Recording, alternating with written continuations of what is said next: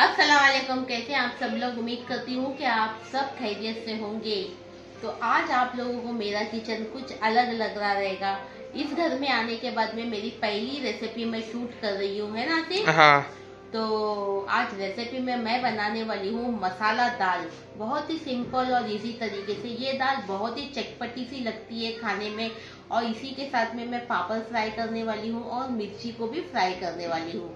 और steam rice के साथ में इसे खाया जाता है, जब भी इसका असली मज़ा आता है।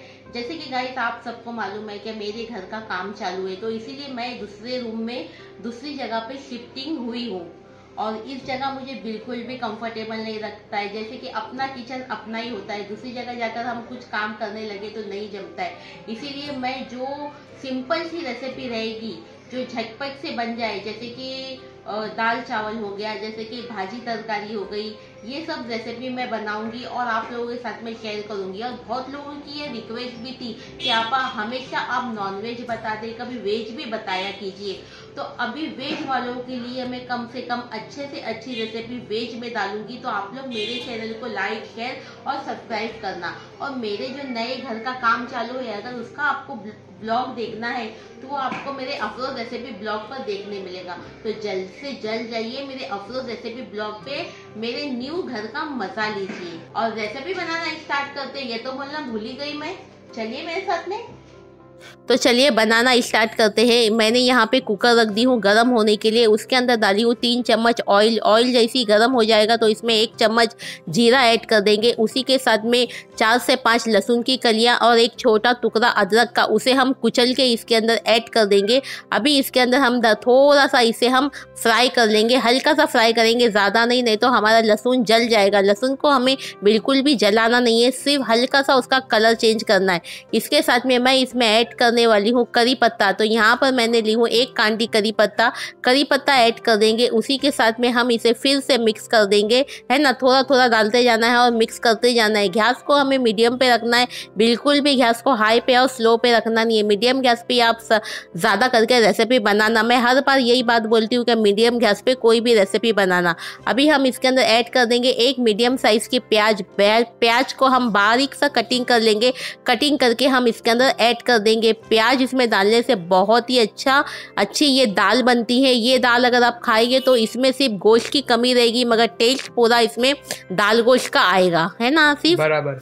बहुत ही अच्छा लगता है। ये कभी भी आपको झटपट से कोई चीज़ बनानी है और अच्छी बनानी हो तो इस तरह की दाल आप बनाकर खा सकते हैं। जैसे ही प्याज का कलर हल्का हल्का सा चेंज हो जाएगा तो दो मीडियम साइज़ के टमाटर बारीक कटिंग करके हम इसमें ऐड कर देंगे। इसी के साथ में हम चार से पाँच हरी मिर्ची बीच में से कटिंग कर कर इसको ऐड कर देंगे। हरी मिर्ची आप अपने टेस्ट के हिसाब से डालिए। जितना आपको तीखा पसंद है, उतना आप डाल सकते हैं। हम इसमें थोड़ी सी लाल मिर्ची का भी इस्तेमाल करने वाले हैं। अब इसमें पाउडर मसाले जाएँगे तो आधा चम्मच से भी कम हम हल्दी पाउडर लेंगे। आधा चम्मच हम धनिया पाउडर लेंगे। आधा चम्मच नमक, आधा चम्मच लाल मिर्ची पाउडर पाउडर और आधा चम्मच कश्मीरी लाल मिर्ची पाउडर और आधा चम्मच गरम मसाला पाउडर का भी इस्तेमाल करेंगे। चलिए, अभी थोड़ा सा हम इसमें पानी ऐड करेंगे क्योंकि पानी डालना ज़रूरी है क्योंकि मसाले एकदम सूखे हो गए थे तो इसीलिए मैंने थोड़ा सा पानी डाल के इसकी अच्छी तरह से भुनाई करके ले ली। एकदम अच्छे से इसे भुनना है। अगर भुनने के समय अगर आपका मसाला नीचे लगने लग जाए तो आप थोड़ा सा पानी डाल के भी इसे भून सकते जितनी अच्छी इसकी भुनाई होगी, उतना ही अच्छा दाल में टेस्ट आएगा खाने में। इसे स्टीम राइस के साथ में खाना गाइस स्टीम राइस के साथ में ये वाली दाल बहुत ही चटपटी रखती है और रोटी के साथ में खाना है तो इसे जो बगैर तेल लगाए हुए सूखी रोटी रहती है ना, उसके साथ खाना। यहाँ पे मैंने ली हूँ तुअर की दाल। तुअर की दाल मैंने कम से कम पाव किलो ली हूँ। मैं आपको हाथ से बता रही कि मैंने इतनी ली हूँ, मगर मैंने पाव किलो ली थी। इसे मैंने अच्छी तरह से धो ली थी और धोने के बाद में इसे आधा घंटा में भीगने रखी थी। यहाँ पर मुझे ज़ोर से चटका लग गया। चटका लग गया तो मैंने बर्तन को छोड़ दी नीचे से। अभी कैसा होता है ना, किचन हो गया है छोटा। और मैं दूसरे घर में शिफ्ट हुई हूँ तो मुझे कुछ समझ में नहीं आ रहा है कि किधर से स्टार्ट करना है और किधर पे ख़त्म करना है ना सिर्फ़ तो थोड़ी कंफ्यूज हो रही हूँ ऐसा मेरे साथ में हो रहा है और दो से तीन बार मेरा हाथ भी जल चुका है मगर फिर भी मैं अपने आप पे ध्यान दे के खाना पका रही हूँ। अब दाल डालने के बाद में हम इसे अच्छी तरह से मिक्स कर देंगे और पाव किलो दाल के लिए मैं इसमें डालूँगी दो गिलास पानी दो गिलास पानी डाल के हम इसे मिक्स कर देंगे और कुकर का ढक्कन लगा देंगे गाइस बाद में हमें इसमें डालना है कोतमीर बस हरा धनिया। मैं कोतमीर बोलती हूँ, आप लोग कोतमीर को क्या बोलते हैं वो मुझे बताना, मगर हम लोग हरा धनिया बोलते हैं। कुकर का ढक्कन हम लगा देंगे अच्छी तरह से। कुकर एकदम ध्यान से लगाना अच्छे से और इसकी ले लेंगे सिर्फ़ पाँच सीटी। पाँच सीटी के बाद में मैं आपको बताती हूँ यहाँ पर हम कर लेंगे पापड़ फ्राई। ये होम मेड पापड़ है जैसे घर में बनाए हुए पापड़ है। अभी बहुत जल्द आपको मैं घर में कैसे पापड़ बनाते हैं मैं आपको बताऊँगी क्योंकि मेरी टेरिस बन जाएगी तो मैं टेरिस के ऊपर ही पापड़ बनाना कैसे बनाते हैं वो मैं बताऊँगी है ना? तो ये होममेड पापड़ मैंने फ्राई करके ले ली यहाँ पे मैंने रखी हूँ एक चम्मच ऑयल गर्म होने के लिए और यहाँ पर मैंने ली हूँ मिर्च। ये मिर्च जो ली हूँ, लंबी वाली, ये बिल्कुल भी तीखी नहीं होती है।